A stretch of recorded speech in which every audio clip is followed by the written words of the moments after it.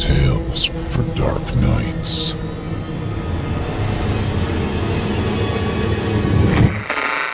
Want to make sure you never miss a Chilling Tales for Dark Nights video again?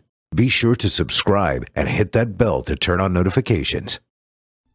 It's time to turn off the lights and turn on the dark.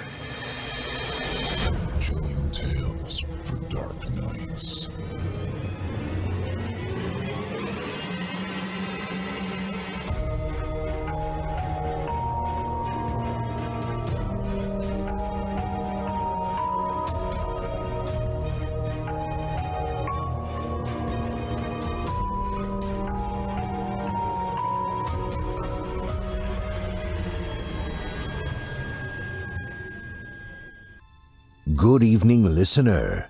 You're listening to Chilling Tales for Dark Nights. On tonight's edition, we invite you to leave behind your safe reality and descend with us into the frightening depths of the most terrifying imaginations with two audio adaptations of frightening fiction about gruesome greed and elderly evils. I'm your host of the evening, Steve Taylor, and tonight I'll be your guide as we traverse the dimly lit corridors of your darkest dreams. Joining us tonight to help bring to life the frightening fiction of Jon Allen and Samuel J. Allen are voice talents Melissa Medina and Nick Goroff. Now, get your ticket ready. Take your seat in our Theater of the Minds and brace yourself. It's time to turn off the lights and turn on the dark. Segment Story 1 Introduction. Our first tale this evening is written by Jon Allen and is performed by Melissa Medina. In it, we'll meet Narnia Kazarian, a young influencer with millions of adoring fans due to the success of her beauty tutorial channel. In this Twilight Zone influenced psychological paranormal expose of the tunnel vision the quest for fame and likes creates, we experience Narnia's final days as she fails to witness the many warning signs that have been blinded by her own vanity and greed. Without further ado, I present to you Oblivious. I have never been a reader, so I don't know how it's possible, but there's a proverb I know The dead cannot reveal any secrets. Given my current state, I choose to disagree. My name is Narnia Kazarian, but I was the chronic cool of Narnia entity. It's cute, right? Yes, an obvious play on words, homage to the C.S. Lewis novels that were my namesake. Maybe it was a tad narcissistic, but the pun worked within the confines of my popular online beauty channel. Glamily members, it's your girl Narnia K dropping in one last time before Friday night's Trendies, streaming live from the Dolby Theater in downtown LA at 8. As I plug the fledgling influencer award show, around 700,000 viewers would hear those words, the last spoken in life. That multitude of people does not log off in perfect harmony. My assumption was a glitch when the digits on the view tracker dropped into nothingness almost as quickly as they disappeared. It made little sense at the time. Now, it all makes sense. So many things make sense now. My current reality is that I've been reliving my final days and now see the missed details that should have smacked me in the face then. It began when I closed the laptop on that last broadcast and Miss Daddy's evident note next to the PC. The Escalade has half a tank. You must fill it up before leaving. Uh, the replay is starting again. After finishing that last live stream, my iPhone quakes, but I hit silent without looking at the screen. I assume it's the usual influx of after show fan comments, and I can't be bothered. It's always an admirer praising me or a troll seeking attention. It's time to leave Calabasas anyway, as I have planned to spend the next two days prepping for the awards ceremony an hour away in the solitude of the family cabin, hidden deep in the woods away from LA traffic or trick or treaters. As camping trips go, it wouldn't exactly be that. Looking back, it was hardly a rough outing for me, the 22 year old, privileged, entitled daughter of real estate magnate Ephraim Kazarian and famed 70s model Janet Price. Rich people are bizarre. We exist in one world, ours, while everyone else does their own thing. A mere cabin to daddy is another $3 million chunk of dreams. Yes, I now realize the life of Narnia Kazarian was quite charmed. Realizing it now is too late and pointless. I think wealth and fame led to my demise. Actually, I'm sure of it. Vanity and excess bred tunnel vision. Have I mentioned that you hear a ghost? My channel's success surprised no one. Ariel was my best friend and the starlet of the Hulu horror series 13 Terrors, and she tweeted about my channel early on. Lennon was a friend whose mom was reality TV famous and also tweeted photos of a makeover I gave her, double dipping into our shared quest for attention. That was huge. Then, God herself smiled upon me because when a Kardashian follows you, you become insta famous. My beauty game was decent, maybe above average, but I'm honest since I'm dead now. It was nothing compared to rival streamers. However, they had no names to drop or celebs to tag.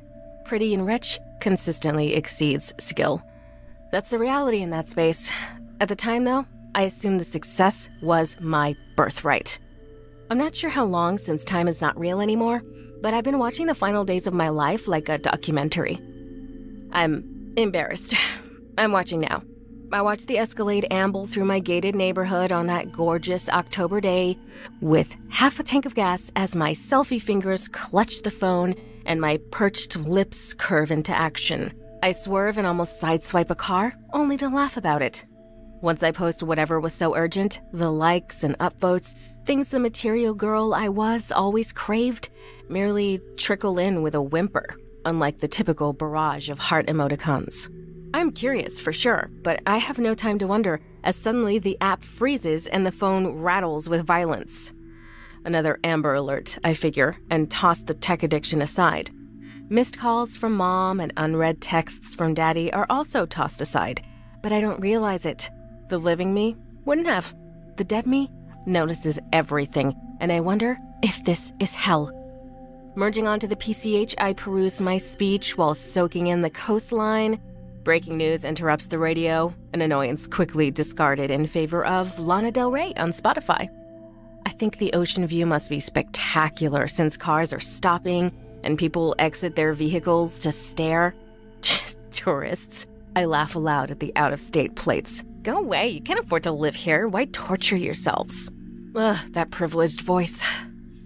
At the cabin, our caretaker is missing.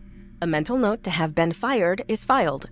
How will the massage therapist get in tomorrow? Or the driver on Friday? I open the gate and leave it that way, seeing my inconvenience, but somehow not seeing the note Ben affixed to the wrought iron bars. Then I carry my bags like a savage. What a fool I was looking back, lugging that oversized junk in my red soled Louboutin heels. Night one is immediately exhausting. The Wi Fi won't work, so my toys are useless. Logic says to read the text from my parents, but I opt to play Candy Crush as the battery drains. I plan to stream my prep work. People love the behind the scenes voyeur shot. My primary dress is a vintage, original 1978 Versace that mom wore in a Vanity Fair spread with Cher and Farrah Fawcett. In case of disaster, I have my backup gown and my backup's backup, both Tom Ford creations. I have three grand in cosmetics Chanel, Dior, and MAC for one use. My hair is pre coiffed, and only a few minor adjustments will be required, which my chronic cool can easily handle. I have everything, but the most important thing I have no audience to watch the process thanks to the Wi Fi horrifying me. I know this dead version of me will be 22 for the rest of eternity, but I feel like a wise old sage when absorbing the pretentiousness of the living me. I decided to be gross and watch cable since that's the disaster I'm left with, but all channels are blank, except one a local station struggles through, and some anchor with helmet hair is being dramatic. Probably another wildfire, I guess. Click. I'm bored already. Minutes later, gently placed cucumber slices blanket my eyes, and I slide my sensory deprivation pods into my ears and fall into a slumber to fight the frustration. Or at least I think I did. Somewhere in the middle of the night, I stir. Initially, I knew I must have dreamt it because the cracking, thundering explosion couldn't have penetrated my noise canceling pods. Regardless, I'm now awake. Gone is the electricity, the lifeblood for everything I am. My weary eyes peer outside through a now fractured window, cucumber juice hitting my pupils, and I see nothing. Had I looked closer, I might have noticed the dearth of stars in an area famous for sky watching. Instead, I dance to the tune of self pity. There is no way to Skype with Dr. Paulson, so I give up on the evening again. Oh, an emergency generator sits alone in the basement, but I am not about to touch that greasy thing. I could scoot into town had my gas tank not been stuck on E. I nestle, sleepy and annoyed, under my Burberry covers and weighted blanket. Thursday is even worse. No power, only one day until the awards. All ways to tell time are drained. Flashing a cursory glance toward the window, I notice a faded yellow haze is outside, which is not normal. Eerie lighting does not pique my interest. Most people would have been ravaged with curiosity, but not the fabulous Narnia Kazarian. Why? Breakfast is paramount on my mind. After all, it is my final meal until after the awards tomorrow. Salivating at the thought of avocado toast, I realize there's no way to actually toast it. I take malicious glee now in watching the living me falter because it's so ridiculous and unfathomable how dense I was. Seeing my face morph into a pathetic pout is strangely satisfying in this dead place I live now. This dastardly abode called hindsight. Breakfast becomes sips of grapefruit juice as I attempt to get anything from my gadgets. The devices remain silent, but not everything is muted. Sirens blare in the hills, and with clarity. What do I do? I soak. I soak in more Lana with the remaining life on my MP3, and I soak in the basement jacuzzi, enjoying the still warm water while it lasts. The living me didn't see the battery powered radio displayed atop the generator. The dead me can only see it and nothing else. Uh, this part makes me sick. After enjoying the cabin's amenities, I gaze into my vanity mirror with great affection for myself for several hours. An antique porcelain brush weaves through strawberry blonde strands as I practice emoting from my good side. The question of when the girl from the spa will arrive for my foot massage pokes me. My pampering is scheduled for 6, so I'll use the girl's phone to call daddy and fix everything wrong with a stupid cabin, like the inept caretaker and shoddy wiring, and the rest of the unacceptable misfortunes that don't belong in a civilized world. The spa girl is late. Waiting is not something I do. I wait, and I wait some more. A solar tiki torch allows me to inspect the Versace with a feverish vigor for flaws. I investigate the cabin and saunter into Daddy's media room, which is covered with walls of DVDs. His antique viewing platform makes me laugh. His collection of movies is not my vibe. Independence Day, Idiocracy, Clueless? Uh, no Channing Tatum anywhere. Darkness envelops the cabin, and Spa Girl is AWOL, so muscle memory causes me to reach for my phone to drag the spa over social. There's still no electricity, and I've watched this part often since I've been dead, and this stupidity always makes me label the living me as such a pretentious, affected twit. All hope in the reflexology session dies, and so does the tiki torch. The cabin has become the darkest variant of Onyx possible.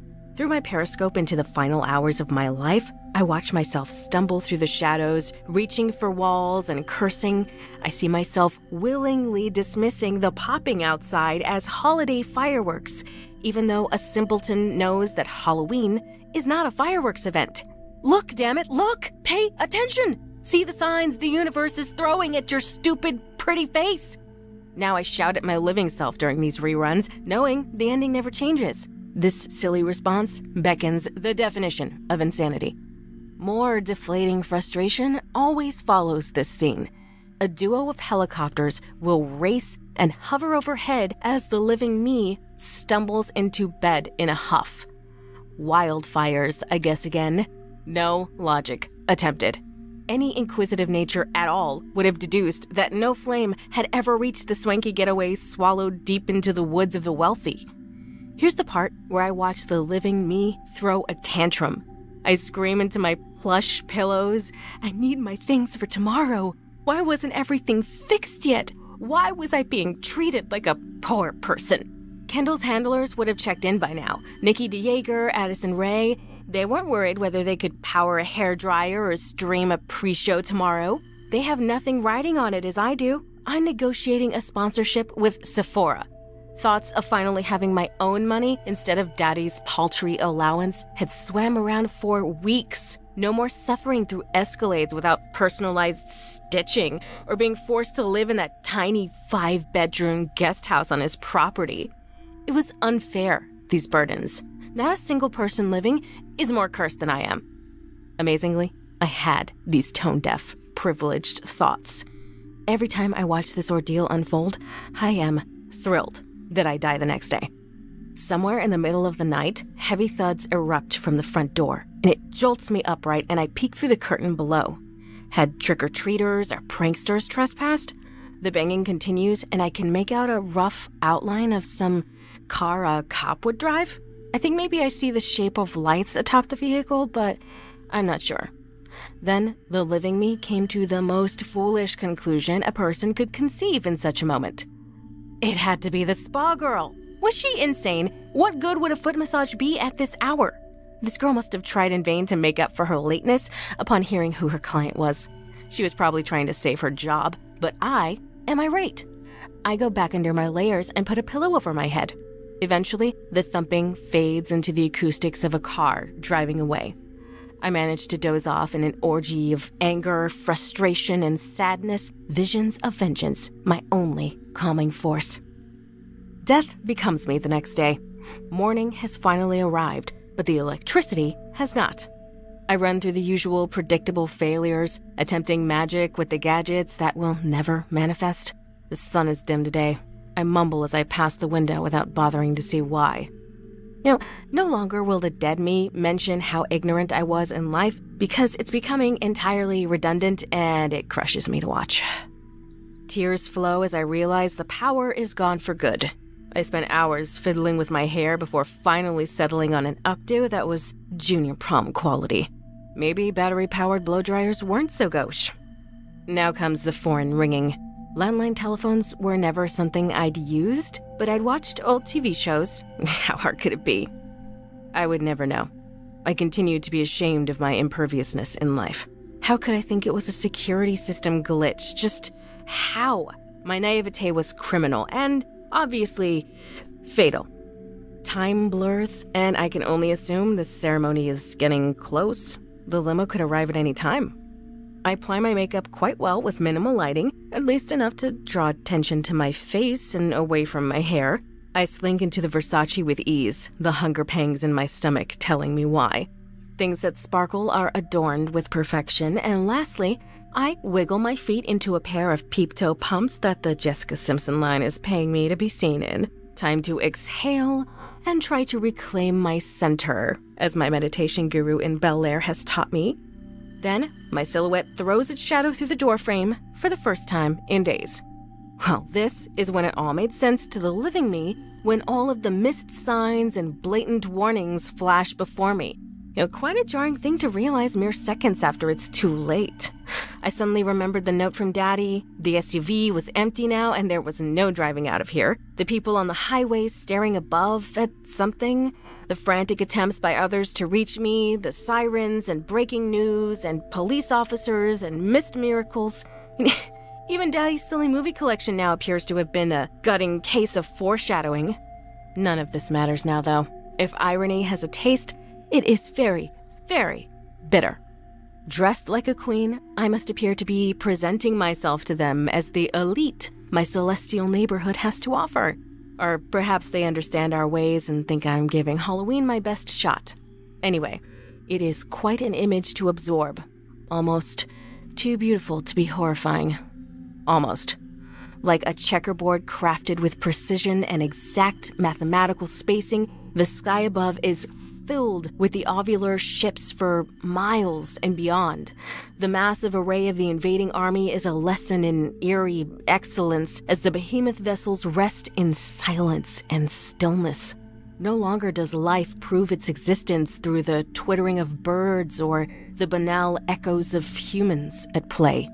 The alien menace floats as conquering gods, and I know in this exact moment that all is lost. At least it was quick and painless. The piercing yet calming light from the ship directly above as it entered my soul. That was the last thing I'll ever remember of life. Now, I'm cursed to replay the heedless flaws of my character until a higher power dictates otherwise. I suppose I can take solace in looking good while I wait. One thing is certain I'm proof that the paranormal is real. I mean, who else can say they've answered the questions of whether we're alone in the universe, as well as if there's something beyond death, all in one day? Neither is more frightening than the pedestrian detachment that brought me here. The only proverb I ever knew said, The dead cannot reveal any secrets. It said nothing of revealing the dreadful, cruel ruination that comes from being oblivious.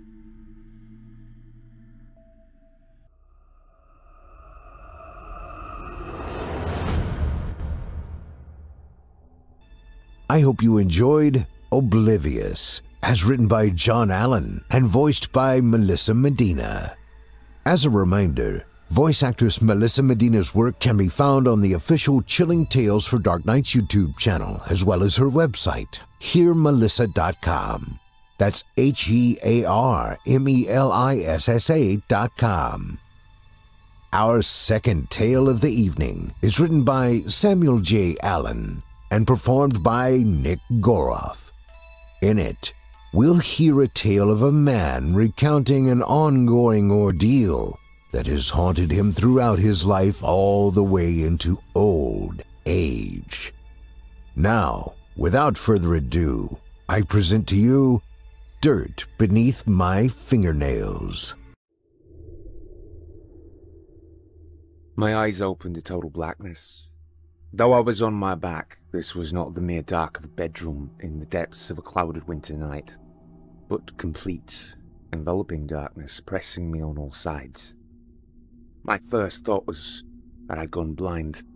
As I instinctively raised my hands to my eyes, my knuckles scraped against rough wood hard enough to break the skin. I cried out in pain, a cry which echoed dully back to me as soon as it escaped my lips. I groped blindly around me, that same rough wood meeting my fingers on all sides. My heart began to race, the thudding filling my ears, accompanied only by short, ragged breaths as my lungs sucked in the fetid air of my confines, and dread washed over me in waves. I kicked out wildly, pounding the soles of my shoes as hard and as fast as I could, given limited space, but was met by more solid, unmoving wood. I thrashed my shoulders from side to side in the grip of overwhelming panic now. I could feel cold beads of sweat forming on my back as I continued to lash out, breathless, almost to the point of choking. I tried to arch my back against the wood and put my weight into pushing myself upwards. I rocked back and forth in a fury, hoping something might give, for just the barest hint of light creep its way in. And finally, after my frantic, angry blows had done nothing save bruising my arms and leave my hands a splintered ruin, I began to scream for help. After a few minutes, my throat was burning and gasping for breath. I forced myself to be still, thinking rationally for the first time. I lay still in that all encompassing darkness and explored my confines more delicately. I was in a wooden box. That was all I knew with any certainty. I hadn't heard any sounds since waking, and so must be somewhere remote. Beyond that, I was at a loss to understand what had happened. The last thing I remembered was walking home around midnight after a Friday evening spent at the local pub. How had I ended up here? With my panic subsiding slightly, I tried to think of a rational explanation. Kidnap? Some accident? After minutes of racking my brain and no closer to a solution, I decided the why didn't matter. The more pressing concern was the need to escape from this box. I felt slowly around the wood surrounding my upper half, examining the joins, searching for nails, or screws, praying for the slightest give or sign of weakness. I shifted as best as I could down towards the base of the box, where my feet had stamped to no avail. Or so I thought. I strained to reach the end, contorting to allow my scraped and bleeding fingers to explore. I felt the smallest movement where one board met another, the merest hint of an opportunity, and poked my hand through, hoping to gain some leverage. My fingers were met by cold earth. Waves of utter panic and dread washed over me for a second time. My breath caught in terror as coughs racked my chest, the implications of where I was and what had happened now agonizingly clear for the first time. I had been buried alive. Fighting the urge to vomit, I withdrew my hand from the small hole I had fought to create, partly in disbelief and partly in denial from what I now knew to be true. Tears formed and fell quickly, stinging my eyes, and for minutes I lay still. It was only then that it first occurred to me that I might need to conserve air. Had I died and been buried with the faintest hint of a pulse, a victim of some horrific medical mistake, only to wake six feet under? Somehow, it all just felt wrong. In the blackness, I examined my clothing with my damaged hands. I didn't seem to be wearing a suit. There was no tie, jacket, and in my pocket, I could feel my wallet and house keys. This was not burial attire. I was dressed in the same thin shirt and jeans I had put on what I thought was the evening before, though I had no way of telling how long it had been since my midnight walk towards home. There was no cloth of velvet lining beneath me, only that same rough wood, and that surrounded me on all sides. I felt no hinges, no signs of craftsmanship or care, only what seemed to be a makeshift box barely big enough for me to lay down straight. If this box had been hurriedly or poorly made, then there was the possibility, however unlikely, of escape. Focusing on the small breach my frantic kicks made in the joints of the wood, I forced my hand through the hole and clawed my way into the dirt beyond. I put all the weight I could into pulling at that single board, ignoring the splinters that bit like fangs into my forearm. The joint seemed to crack like the dull snapping of a bone, though these sounds were muted by the earth encasing it. The soil began to pour in through the gap and pool around my feet. My breathing was heavy, ragged. I began to feel lightheaded and dizzy, more aware now that oxygen was likely scarce as my heart raced, body filled with adrenaline. I screamed in agony as a fingernail was torn from its bed, caught on the trailing shard of wood. And yet, this pain only made me more resolute, sure I could make it to the surface. The first one joins, then another gives way. I could hear a groaning as the weight of the earth above bore down upon the makeshift casket. The board, which had served as the lid of my confines, gave way, and finally shattered as I kicked wildly upwards. The dirt fell in like rain around me as I finally managed to haul myself into a sitting position, choking from the dirt falling into my mouth as I dug upwards in the darkness. The soil was loose, freshly turned. I tucked my head down to my chest and raised my hands, clasped together into the dirt, clawing my way upwards in some vertical mimicry of a breaststroke through the earth. I felt the dirt fall in thick clumps beside me, gradually able to rise, first to my knees, and then into a crouch. With one final agonizing push, I managed to break through the surface and felt the cold air on my ravaged fingers. Soon after, I hauled myself up, scrabbling on the loosed earth to freedom. Fresh air to life. I fell, exhausted, unable to stand, next to the hole, which was to have been my gravesite. Hands a red ruin caked in black, fingernails broken, arms bleeding from a dozen scrapes and splinters. I lay gasping, lungs burning but grateful for each breath of cool air. As my eyes, accustomed as they were to the darkness, slowly adjusted, I managed to take in my surroundings. It was a cloudless night. The only hint of light from the crescent moon above. Though I could only see maybe 30 feet on all sides, I knew this wasn't a cemetery. There were no headstones, no flowers, just an empty wasteland stretching out into the darkness.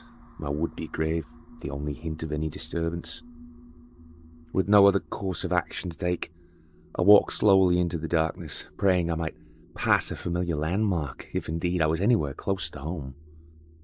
After half an hour or so of slow, clumsy, and uncertain staggers through barren grassland, I came upon a road I recognized collapsed, exhausted, unable to will my cramping legs to move another inch. Eventually, I was roused by the blinding beam of headlights and, through gritted teeth, managed to rise to my feet, and as the car slowed, I flagged it down in the darkness. I was 34 years old when I was buried alive for the first time. That was 1978. Over the past 40 or so years, I've dug and clawed and scratched my way from the suffocating, soul crushing blackness 18 times, and yet I still don't know why this is happening to me. I've lived my whole life in a small town on the outskirts of Lancashire, England. As a young man, I left school the earliest opportunity, found employment as a labourer, eventually branching out on my own as a jack of all trades builder, working for myself. I never liked the big city, and can count on one hand the number of times I've travelled more than 50 miles from home. Strange, I'm sure, to most, especially as travel to distant and exotic lands has become much easier over the past few decades. This place always felt like home, though. I yearned for it. A few times I was away on holiday as a teenager. I don't broadcast that fact too loudly, but after waking up in a cramped box deep in the dirt, struggling to breathe and barely able to straighten your legs, even small towns like this one can seem like a whole world. The town's location is important, though the irony of its name is not lost on me should you ever care to work out my origins.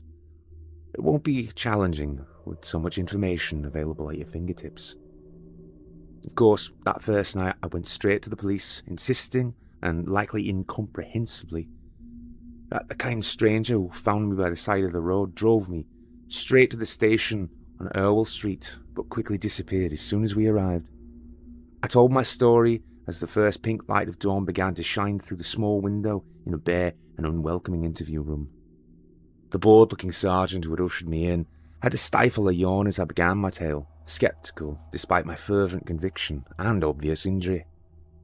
I was told that it was now the early hours of Sunday morning, meaning I had somehow lost an entire day. After repeated questions about my mental health, any drinking problems, drug problems, and criminal history, it was reluctantly agreed that we would drive out to where I was found by the side of the road and retrace my steps to the spot I had freed myself from the dirt. And so we went. The walk through the empty fields did not take nearly as long in the light of day. Though darkness had hidden all landmarks from me the night before, I was certain we moved in the right direction. After descending a small crest, where the field sloped downward and onto a flat expanse, we came upon a small patch of broken ground. There! I cried, hurrying as best as I could to that singular spot of earth in the otherwise undisturbed landscape. The sergeant followed in no great hurry. There was no grave, no remnants of the shattered wood that had caged me, only freshly moved earth, the hole filled and flattened. I clawed down into the dirt with my hands, the same earth I'd fought to free myself from only hours earlier. Cuts that marred my fingers opened anew, sending rivulets of blood snaking down my palms and into the mud. I sank my arms, elbow deep into the dirt, searching manically for any stray pieces of timber. Nothing. A few tiny shavings of wood littered the mud, and there, protruding from the dirt, like the budding of a small flower, sat a single nail, bent and twisted. The sergeant was unmoved by my find and increasingly impatient. I protested. Whoever did this to me has been back, filled the grave and taken everything away. The sergeant shook his head and angrily explained that a solitary nail and a few flecks of wood meant nothing across the miles of scrubland. That there were a hundred different ways those items could have ended up strewn in this field. Certainly, it was not enough to suggest some conspiracy. Particularly as I told the police back at the station I couldn't think of anyone with a motive to do me such harm. That was only half the truth. I could see how it looked, how unbelievable my story must seem. I also understand whoever had done this to me must have done a significant amount of research and preparation. This was not simply bad luck on my part. No wrong place, wrong time. My tormentor had likely waited, lurking unseen in the shadows to see if I managed to claw my way out to freedom, and then to dispose of all the evidence quickly. It was the fear that this was some targeted attack that outweighed the frustration I felt at not being believed. This was all part of the plan.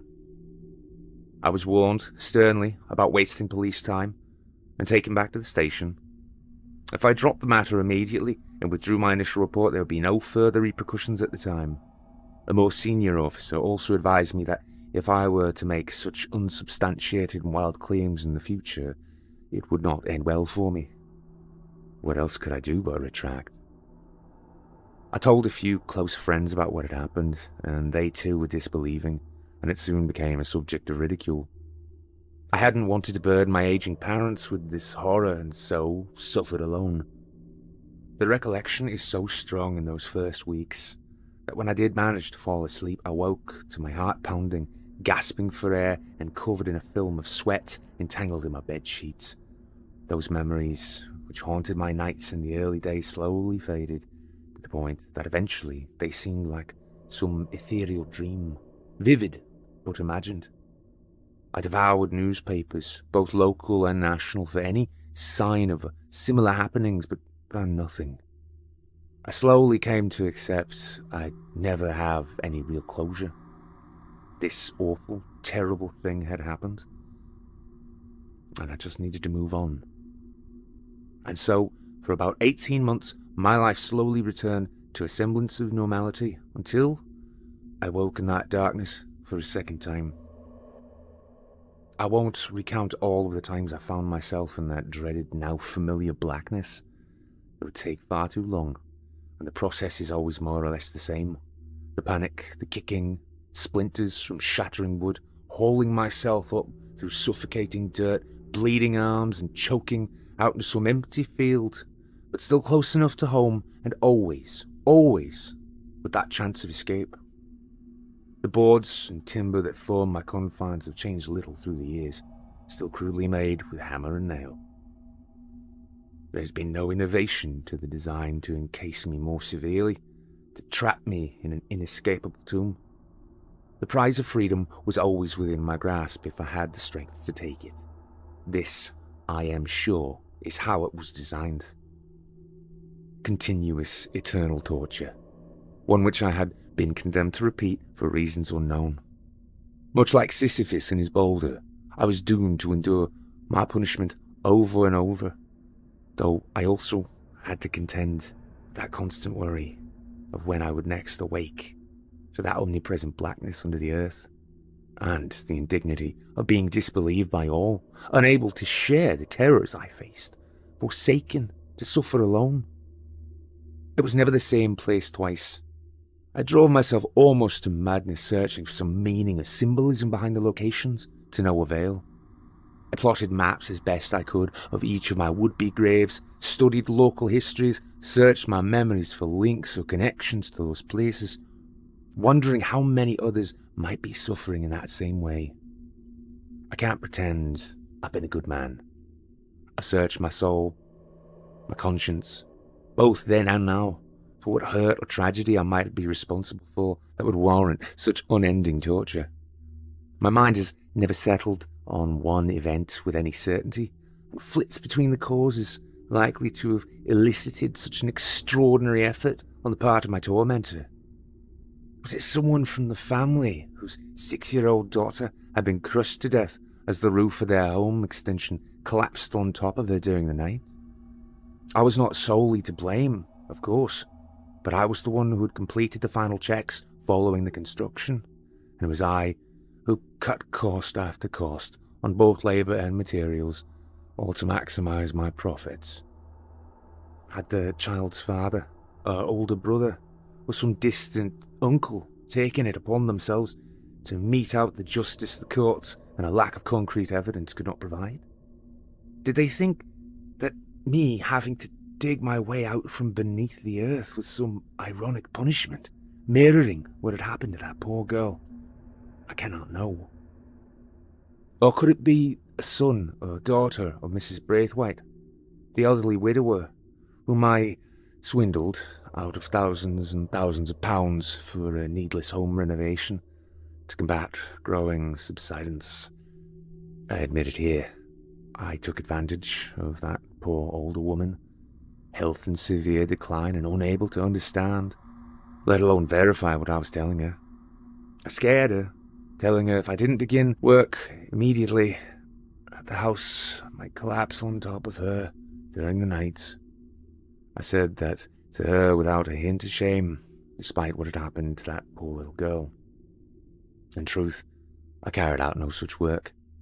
The bare minimum, for it seemed as if I had reinforced the structure and secured it against non existent issues denied their inheritance by a con man, all that money, hard earned by their mother and father over a lifetime, soon squandered on alcohol and gambled away. Had this been enough to inspire such hatred towards me that they conspired together to destroy my life? Then there was the night when I had a little too much to drink, following a meal with friends out of town, and not wanting to be stranded deep in the countryside, had made the unwise decision to drive back home through pitch black rural lanes. Distracted by the blast of the radio and attempts to light another cigarette to clear my swimming head, I heard the thud of something heavy hit my bumper. My eyes flew to the road just as the dark shape blurred into the windscreen before disappearing into the darkness beyond. I was so sure it must have been an animal, a large fox maybe, or a stray sheep escaped from some nearby farm. What else could it be out there on the back roads in the middle of the night. But what if I was wrong? I had made no attempt to search for whatever had collided with the car, instead, speeding home to safety, trying to push the incident out of my mind. In the cold light of the next morning, I saw a small crack in the corner of the windshield, and in that fracture, pooled into the cracks, rivulets of deep and sticky crimson. After a few days without incident and emboldened by the lack of news reports concerning a hit and run or accident close to where I had collided with something, I drew a line under the event and moved on. Though now I am plagued with doubt about exactly what happened. It has been so long, I honestly cannot remember whether the lies I might have told myself for so long had become truth within my memory. Had I killed someone whose loved one had taken it upon themselves to perform some perverse vigilante justice, obsessing over my movements. There are other events, things I am not proud of, acts as a young man that now fills me with shame and regrets. Surely, though, none worthy of this. The constant worry hung over me like a storm cloud. Its shadow only grew darker as time went on. I became suspicious of all those around me. Surely, it must be someone close to me who knows my habits, my routines. I began to isolate myself from the few friends I had left. All activities other than work were discarded from my life. The few times I managed to find a ray of hope in that crushing worry, I soon found myself below ground, that familiar dirt ingrained deep under my fingernails once again. Despite my now suspicious and insular personality and reluctance to leave my home, I'd somehow been lucky enough to meet a woman during a brief late night trip to the local supermarket. She was kind, recently divorced, and had troubles of her own. Although I never quite managed to tell her about the burials that pockmarked the brutal last decade and a half of my life, I felt simply being with her meant my burden was shared, even if I hadn't spoken it aloud.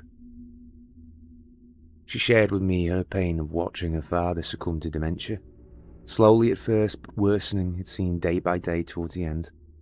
In his final weeks, he had forgotten her completely. Much like myself, she had no remaining family, and over time her friendships had lapsed and faded as they so often do when life begins to overwhelm. I was all she had, and when the inevitable happened and her father passed on, I helped her to make the necessary arrangements and promised her I would be there to offer comfort and support in her grief. So, consumed as I was by my newfound love, and by the first real responsibility I had had to someone for years, I dreamed for a few naive months that this might signal the end of my wretched punishment. Maybe whoever was doing this to me had died, or decided I'd endured enough misery and fear for one lifetime. I was a different person now, and instead of laying beneath my blanket each night, sweating, fearful, and restless, my thoughts were consumed by another for whom I was so desperate to be there. And yet, as the morning of her father's funeral came on a cold, early January day, I found myself scrabbling beneath the hard, frozen dirt. Mercifully, I hadn't been buried deep. It must have been some effort to remove a few feet of solid earth, and the box that held me looked to have been made quickly and crudely, as though this plan had been less well executed, more rushed than before. I finally managed to claw my way above a snow covered ground and into a sky filled with hues of copper and violet. Even this scant light warmed me somewhat. I turned my face towards the sun as I stood shivering in my bedclothes and slippers, arms clasped tightly to my chest, fingers bloodied, feeling like fire in spite of the cold. My mind cleared in the sharp morning air as I took in my surroundings. This place was familiar. I saw Holcombe Tower, high on its hill, casting an elongated shadow down towards me in the dawn light. I was less than two miles from home. Despite the frigid temperature and freezing terrain, I could make it home quickly. Maybe there was still time. I could still be where I was needed most to offer support and comfort to my love in the depth of her grief and despair, to read the words she had written in the eulogy, but knew she wouldn't have the strength to say. I'd told her I would be there each step of the way to make her breakfast, though she wouldn't feel like eating. I took her hand as we made our way into the church, to be the shoulder to lean on as we followed the hearse to the cemetery, and held her as the inevitable tears came as her father's coffin was lowered into the earth. The hope that I might still do all that kept me going, even through my shivering as my lungs burned and feet struggled for purchase on the frozen ground, the biting wind whipped around me. But that vivid purple and orange light dulled and melted soon into grey as the sun began to crawl towards the horizon. This was not the dawn I had thought. It was dusk, and in those dying embers of light all hope vanished. And as the sun disappeared, so did my will to continue. I collapse to the frosted ground by the side of a tall oak. And in the growing twilight I wept as the first flurry of evening snow began to fall. They must have taken me close to dawn and kept me sedated for much of the day. I missed the funeral and a final fledgling chance for happiness. My absence and broken promises were unforgivable, and any chance for an explanation was in vain. She would not answer my repeated phone calls and moved away soon after, all ties to her extinguished. I never saw my love again. I spent the night of my 50th birthday beneath the cold ground. The town had been in the grips of a fierce autumn storm front, which had raged for almost a fortnight, the relentless rain causing flooding, school closures, and making many roads impassable. This didn't affect me particularly, as I rarely left the house now, other than for the dwindling occasions. I was the last resort for the most menial building jobs or essential shopping trips. The last thing I remember was sitting at home reading when I heard a noise at the back of the house. Wary of possible debris breaking windows, I hurried outside to the garden and into the storm, face pinpricked by hail. As I fought against the gale, moving plant pots and ornaments into the shed, I felt a sharp stabbing pain in the back of my neck as a shadow flitted past. I fell backward, prone onto the soaking ground, as the hail lashed into my eyes. Then, nothing. until I woke up wet and shivering in a wooden box. I wouldn't have believed a man could drown underground, yet as thick mud began to trickle into the box where I'd managed to kick a hole in the lid, I was sure I would be swallowed by the heavy earth flowing like magma. That time, more than any, I nearly failed. I was so tired, held in place as if I was caught in tar. I was close to unconsciousness by the time I managed to slide my hand through the sodden dirt, every muscle burning, back in spasms. After reaching the surface, I spent the night curled up by the dirt, unable to will my body to move even slightly to the cover of a nearby tree. To do this today of all days, lashed by rain and hail, battling against a howling wind, had taken true determination, a mindful, unwavering commitment to steal even the merest hint of joy or contentment I might have left in my miserable existence. Burials never occur with any regularity or predictability. There's no pattern, nothing to signify it is close, no full moon abductions or significant dates. I found myself beneath the dirt three times within the span of a year. Once I almost went four years without incident. I've attempted to check myself in the hospital dozens of times over the years, to volunteer, to demand any barrage of tests available, to try and find out how this keeps happening. It must be some drug or sedative, but there's always such reluctance obvious in the eyes of the doctors and nurses to acquiesce to what they must view are the ramblings and idiocies of a drunkard, madman, or hypochondriac. A man convinced someone is drugging him, abducting him from his own home, and repeatedly burying him alive, though always with the possibility of escape. I know how it sounds. As sure as I know that by the time I dig myself out, make it far enough to tell anyone, and get them back to my temporary grave, all evidence, save some disturbed soil, has vanished. Even covered head to toe in dirt, blood drying when my arms have hauled me from the dirt, fingernails bleeding, nobody's convinced. All I am ever met with are disbelieving looks, with a hint of pity buried in their skepticism. Without a police report, for which I am now too afraid to make, lest I be committed to some asylum, I am denied my request, and so the mystery, fear, and misery continue. You might wonder why I hadn't simply moved away to some faraway land, escaped to some tropical paradise where the cost of living was next to nothing.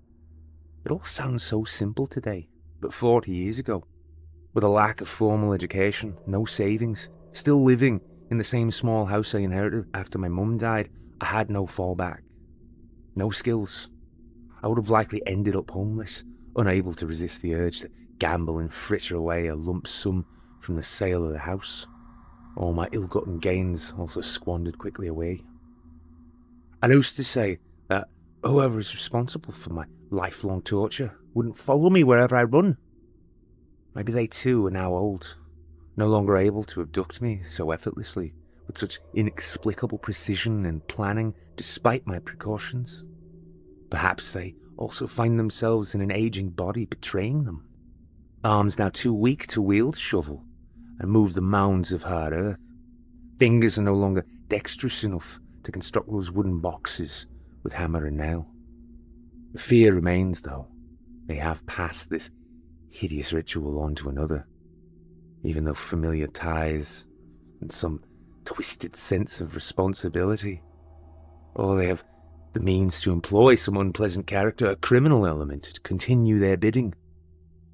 Maybe someone I wronged has the means to put this curse on me in perpetuity. Even if they are long dead, there could be those whose purpose is to continue with my torture, thinking more rationally.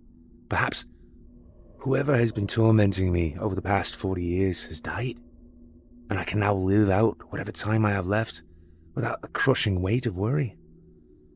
It's not knowing that is slowly driving me mad. The Sunday just passed marked my 75th birthday. A cause for celebration, some might say, though I had no wish for any festivities. Besides, with whom would I celebrate? I only carve out a miserable and solitary existence within the four aging walls of the house I have lived my life within consumed by a constant gnawing in the back of my mind, and hideous dreams filled with crumbling, yellowed bones and fat, pink earthworms slithering all over me in the darkness. All the strength I once had, my broad shoulders, arms corded with muscle, now withered and shrunken, more resembling parchment paper, pulled taut over protruding and fragile bones. Were I to wake in that suffocating darkness now, I would have no means of escape, no strength to fight from the dirt and haul myself towards survival, to the air and sun above. This is what terrifies me the most. Scratching, screaming in the darkness, gasping for air as I slowly suffocate, hearing my final, futile breaths as my death rattle echoes back to me from my confines. Knowing I would lay hidden beneath the dirt in some nameless field, no gravestone, unknown to the world as my body rots, erasing all evidence that I ever even existed at all. I suppose, in some ways, that is why I've decided to share this with you, so that I may have at least some semblance of permanence in a life wasted on fear and worry and regret. I watched an old film last night, a black and white World War II drama. The hero officer is captured by the Nazis, and just before he can bite into the cyanide pill hidden in his back tooth, he's rescued by his men. It made me pause and wonder at the possibility of such a contingency for myself. Though my research seems to suggest this was nothing more than fanciful storytelling. It seems I have only two realistic choices to live in fear of the inevitable in my final years, or to exercise the last minuscule fragment of free will I have left. To take away that last victory from whoever has spent so much of their own life invested in my misery. To end my life on my own terms, well above the dirt, to say goodbye to the world above ground in the warmth with the sun on my face, so that I may rest peacefully in a place of my choosing, with a headstone bearing my name. Tomorrow at dusk, I shall swallow all the digoxin pills my doctor prescribed to help stabilize my irregular heartbeat. A full bottle should be enough to bring me to a swift, painless end. I'll sit out in the garden as the sun sets, and as I feel the beginnings of my slide toward death, toward peace, I shall call the authorities and tell them where to find me, without leaving an opportunity to revive me. I'll be declared dead at the hospital. These days they don't make mistakes. There won't be any chance I'll find myself buried beneath that dirt once again. I'll die on my own terms, finally free of the torment that has haunted me these past forty years. And clasped in my stiff hands, this confession a final chance to tell my story and unburden myself after a lifetime of regret and misery. I'll end my tale here, hoping I've delved into enough detail that you can be sure these aren't the ravings of a lunatic or an older man who has lost his wits. And one last request for whoever might read this, if you'll be so kind. Please cremate my remains and scatter my ashes to the wind.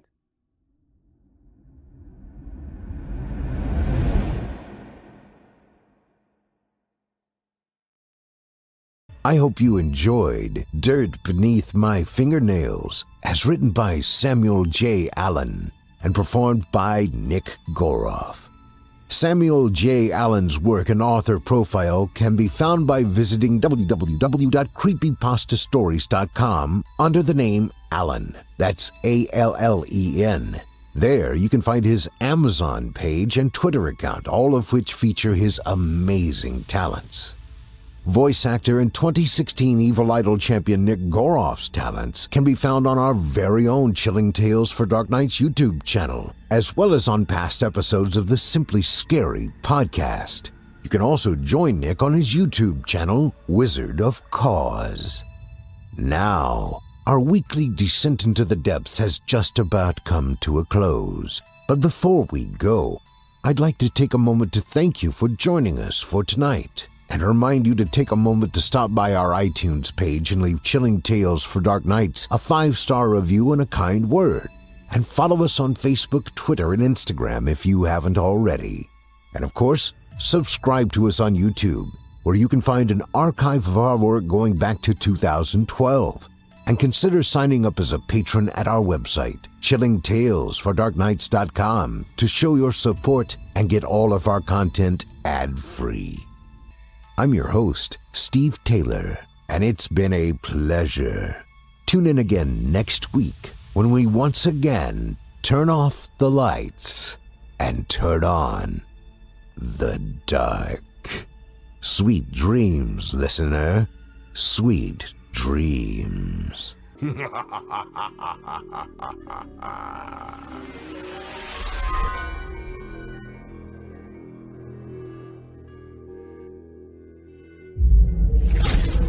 Chilling tales for dark nights.